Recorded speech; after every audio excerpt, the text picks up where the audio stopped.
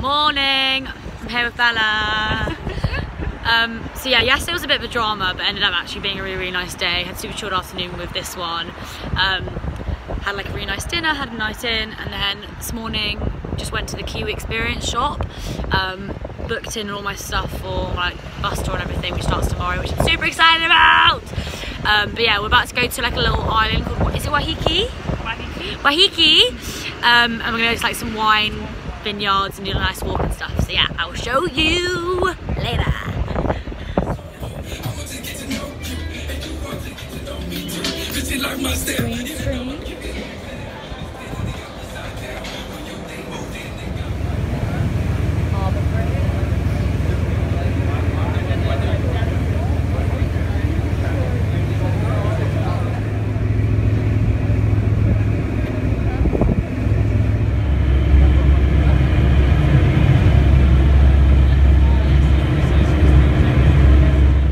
wee bit windy.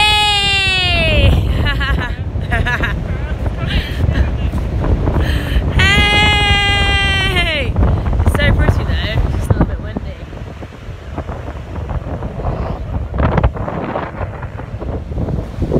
Look at the sand! So weird. Pleasure.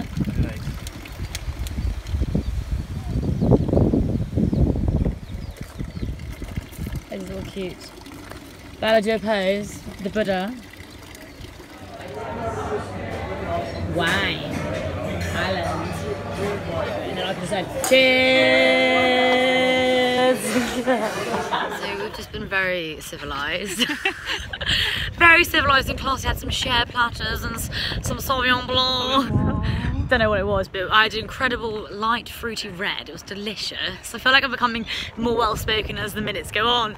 Um, well yeah, traveling is very challenging in New Zealand. Like yesterday was stress, but today has just been incredible. So I'm very happy. Woo! Um, see y'all later.